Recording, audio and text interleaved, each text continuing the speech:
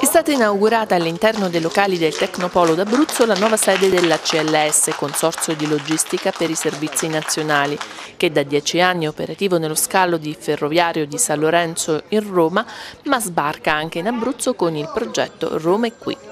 L'occasione è stata utile per illustrare il progetto pensato per l'Abruzzo, un portale commerciale online di prodotti artigiani.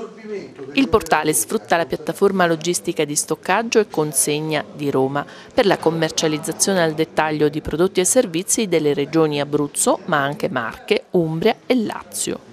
Dopo il taglio del nastro si è svolto un incontro dibattito a cui hanno partecipato le istituzioni locali, i rappresentanti delle associazioni di categoria, i produttori e gli edatori del progetto Roma è qui.